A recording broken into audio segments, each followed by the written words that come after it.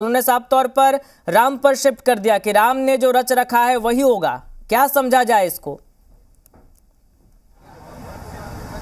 देखिए उन्होंने राम ने रच दिया है उसी पर कहा कि राम ने जो रच दिया उसी पर होगा। हम्म। दूसरे तरफ़ जो जेडीयू के नेता हैं और वो बयान दे रहे थे नीरज कुमार जी उन, उन्होंने भी कहा जो राम चाहेंगे वही होगा। हम्म। तो अब समझ सकते हैं दोनों के राम तो एक ही हैं अलग अलग तो नहीं है क्योंकि पहले जेडीयू के राम अलग हुआ करते थे। हम इसलिए कह रहे हैं जेडीयू के राम क्योंकि वो हमेशा जेडीयू जो है सबसे पहले राम मंदिर को लेकर जो है किस तरह से बयान दे रही थी बाद में जिस तरह से बातें बनने लगी तो बाद में वो कहने लगी राम सभी के हैं। तो अब तो जेडीयू के भी राम है और बीजेपी के भी राम है। हम्म। यानी कि दोनों का काम हो गया है तो राम है। अब राम है तो कल तक हो जाएगा काम। राम है ये तो काम है। रुपेंद्र, पटना में क्या कल हाल तक है? चीज़ पटना के हलचल की बात की जाए तो अभी आ, आपको राबड़ी देवी के आवास पर हैं। अभी अब्दुल बारी सिद्दीकी पहुँचे हैं हम्म। और साथ ही श्याम रजक पहुँचे हुए हैं जो लालू यादव से मुलाकात कर रहे हैं। दूसरी तस्वीर हम कहेंगे अपने कैमरा पर्सन के दिखाने की कि ये तस्वीर थोड़ी काफ़ी दूर हो जाएगी वो कोशिश करेंगे दिखाने के लिए। पाँच नंबर जहाँ मीटिंग होने वाला है वो काफ़ी दूर पे यहाँ से है और वहीं पे अब विधायकों का आने का सिलसिला जो है वो शुरू होने लगा है।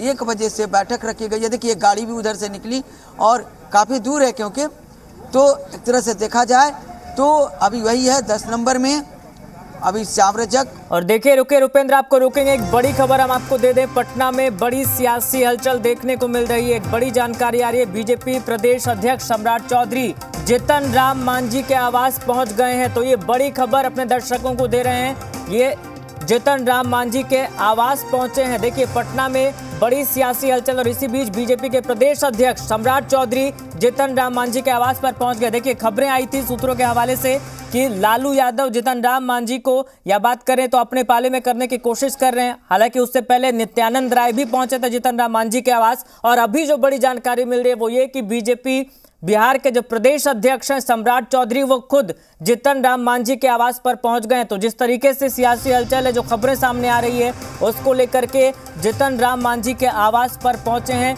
बीजेपी प्रदेश अध्यक्ष सम्राट चौधरी। हालाँकि कितनी देर तक मुलाकात होती है, किस मामले में बात होती है, ये तो बैठक के बाद पता चलेगा। लेकिन फ़िलहाल जो जानकारी है, वो यही कि जितन राम मांझी के आवास पर पहुँचे हैं प्रदेश अध्यक्ष बिहार बीजेपी के सम्राट चौधरी।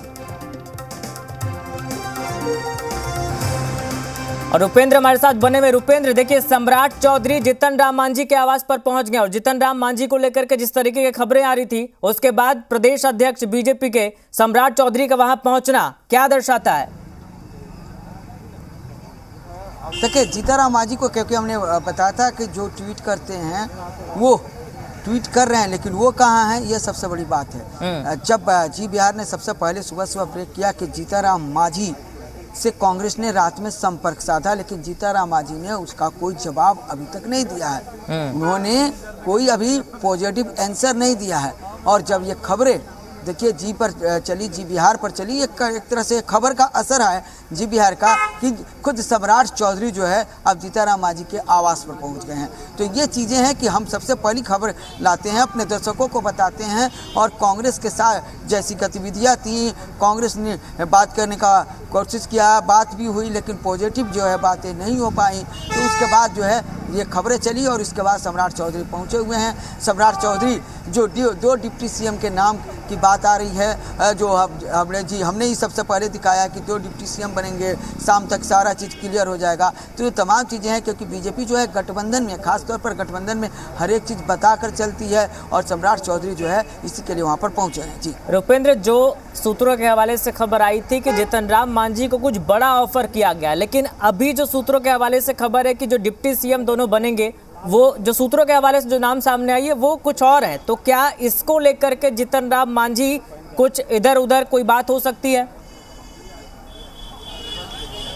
देखिए जीताराम मांझी कुछ इधर उधर नहीं करेंगे क्योंकि उनके साथ, उनका एक बात करें तो संसद में जाने का उनकी ख्वाहिश है कि वो राज्यसभा या लोकसभा में जाएँ।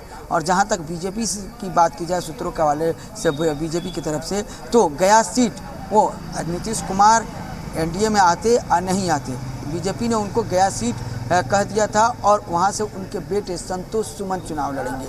साथ ही बीजेपी ने जीताराम मांझी को राज्यसभा भेजने के लिए भी कह दिया है।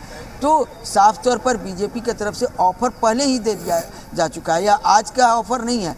ये पिछले चार पाँच महीने पहले का ये ऑफ़र है और ख़ास तौर पर बात की जाए जीताराम मांझी। देखिए, बीजेपी में एक खासियत यह है कि जो भी गठबंधन के दल हैं, उनसे एक एक चीज़ों को जो है, वो शेयर करती है। और यही कारण है कि सम्राट चौधरी जाकर ये बात शेयर करने गए हैं और जिस तरह से खबरें आई कि कांग्रेस ने जीताराम जी से संपर्क साधा है और उस पर जो है, वो गए हैं। इससे पहले लालू यादव ने संपर्क साधा था जीताराम मांझी से तो फिर नित्यानंद राय गए हुए थे। तो एक तरह से एक चीज़ है कि हम आपके साथ हैं तो हम बड़ी पार्टी होकर भी आपके साथ आ रहे हैं। लेकिन आप हमारे साथ हैं तो आप हमारे साथ ही रहिए कहीं और मत जाइए। तो एक तरह से कट से मुलाकात कहा जाए अच्छा रुपेंद्र देखिए कल शाम से बात करें या कल रात से बात करें तो जितन राम मांझी के इर्द गिर्द कई चीज़ें हो रही है। भले ही सूत्रों के हवाले से खबर हो या कोई जानकारी आए तो जितन राम मांझी जो है उनके इर्द गिर्द कई चीज़ें हो रही है। तो ऐसे में जितन राम मांझी कितने अहम हो जाते हैं? सरकार में फिर बदल होता है तो भी नहीं होता है तो भी।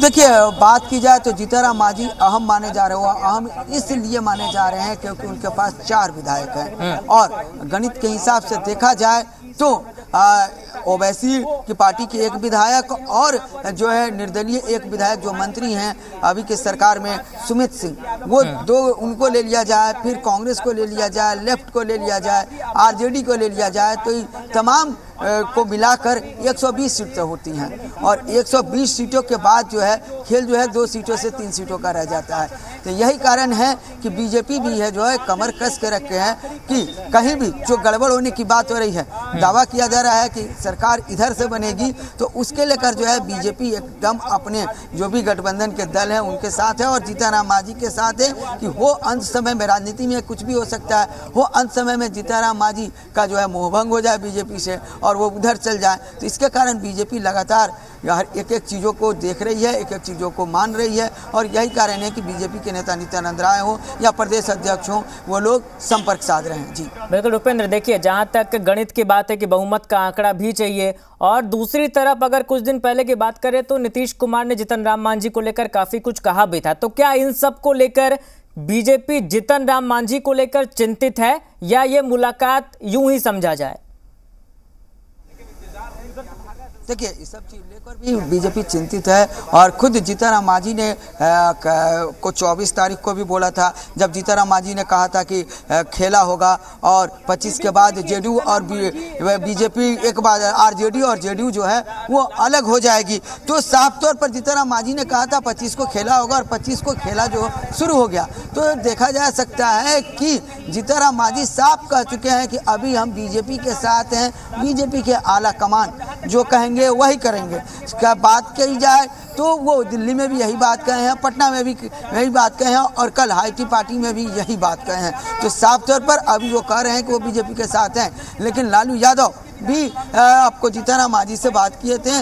जिस समय ये बात सामने आई तो नित्यानंद राय गए हुए थे, अभी कांग्रेस बात की है। तो उस समय अब खुद सम्राट चौधरी जो है, वो गए हुए हैं। तो साफ़ तौर पर कहा जा सकता है, चार विधायक हैं, उनका महत्वपूर्ण रोल है और यही कारण है, बीजेपी अपने साथ जो है, हमेशा लेकर चलना चाह रही है। देखिए उपेंद्र, राजनीति ऐसी चीज़ है कि जिस पल बदलाव होने वाला है, कुछ बड़ा होने वाला है, उसके कुछ सेकंड पहले तक नेता यही कहते रहते हैं कि भाई सब कुछ ठीक है, या मैं इधर नहीं जा रहा, उधर नहीं जा रहा चले ये तो हुई यहाँ की बात। दूसरी बात कि आप आरजेडी आवास के बाहर हैं वहाँ बैठक कितनी देर में शुरू होगी और कौन कौन से नेता अब तक पहुँच चुके हैं? ये बात की जाए तो अभी एक बजे बैठक शुरू होगी और अब्दुल वारी सिद्दीकी पहुँच चुके हैं श्याम रजक जी पहुँच चुके हैं और अभी जो है लालू यादव से वो मुलाकात कर रहे हैं बातें हो रही हैं। विधायक जो है अभी तीन से चार विधायक पाँच दे, देश रत्न मार्ग में पहुँच चुके हैं और विधायकों का आने का सिलसिला जो है वो शुरू है। क्या खबर ये भी है कि आरजेडी अपने विधायकों को परेड करवा सकती है? राजभवन परेड ऐसी कोई खबर है? क्योंकि नीतीश कुमार से समय मांगा गया था और चीज़ें स्पष्ट करने को कहा गया था, लेकिन वो हुई नहीं है। तो क्या ये ऐसी खबर आई है कि आरजेडी जो है वो अपने विधायकों को परेड करवा सकती है? देखिए आरजेडी अपने विधायकों को परेड करवा सकती है साफ़ तौर पर यह खबर है और खबर इसलिए है कि खुद आ, ये कल मनोज झा ने कहा था कि नीतीश कुमार स्टैंड क्लियर करें शाम तक उन्होंने अल्टीमेटम दिया था और खासतौर पर कांग्रेस ने भी अल्टीमेटम दिया था कि भाई क्लियर